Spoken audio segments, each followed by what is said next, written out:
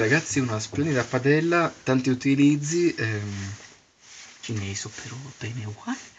E... No, le marche non si possono far vedere, cazzo c'è dappertutto. Mettiamo, il... ehm, non so dove metterla, sotto marche. Comunque, è fi- vedete ragazzi, cioè, è pure finta pietra, cioè, Mm, mostriamo bene la finta pietra.